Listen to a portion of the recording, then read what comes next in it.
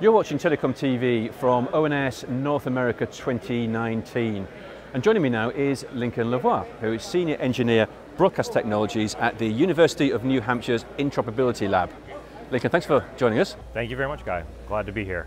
Um, I'd like to talk about um, what the university is doing with the lab as a service concept. Can you, can you first of all explain to me what lab as a service is? Sure. So, so lab as a service is a community resource. Um, really, more than anything else, it's an opportunity for the developers, the open source users, to have access to uh, resources that they might not have. Right. So, so a lot of the stuff we're working on today.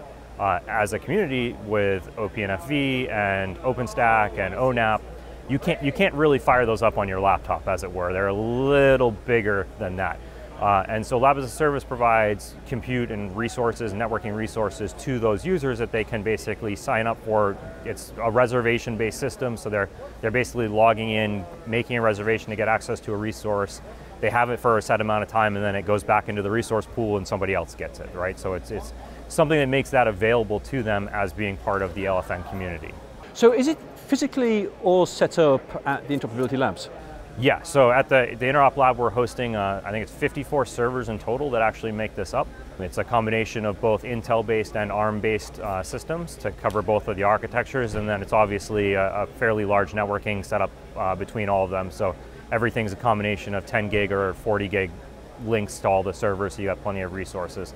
And then one of the things that were the 2.0 version of it that is now available is the users are actually able to do a little bit more of design and provisioning of what the network looks like it, between multiple servers. So if you're thinking that I've got two or three nodes that I'm provisioning and I want specific layer two networks between them so that I could do an actual uh, OpenStack deployment and, and, overlays and such, you can kind of fit all that into what you're trying to design and use uh, in the process. So do um, participants need to physically go to the, the, lab or can they, can they do any of this remotely? The, everything's all remote actually. So the, it's all done out through a VPN connection over the internet. So when you get your reservation, your reservation comes up, you get automatic VPN credentials sent to you, connect into your resource, and then you're just working as if you were logged into a remote server. So.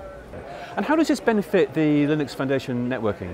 It's more than anything else, it's that community resource to basically either make it easier for an end user to try something out. So one of the neat features that we do have in the, the 2.0 version is uh, if you're brand new to OPNFV or you're brand new to kind of OpenStack, there's like a one-click button to say, give me a deployment. It's a virtual deployment, so it's all on top of one node, but it can actually run small VNFs and everything in there uh, to really just basically try it out. And then if you're the developer side of things, you're probably wanting to do a lot more customization. So what you're getting access to uh, is the, essentially the bare metal system, including the lights out management and everything like that. So you can do a lot of low level checking, you can do low level installs and stuff like that. So it's a, it's a pretty awesome resource as a developer to have access to.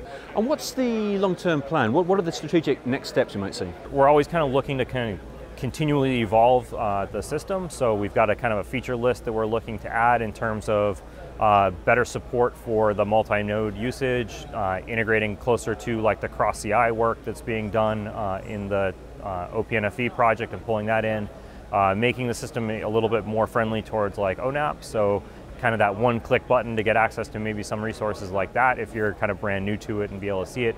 Again, just to, to basically try to serve the industry um, and the community at whole. But all of that comes from essentially that community input, right? So participating in the infra project and the, the Pharos project to kind of say, this is what we need from the project. Great, well Lincoln, thanks very much indeed. Thank you.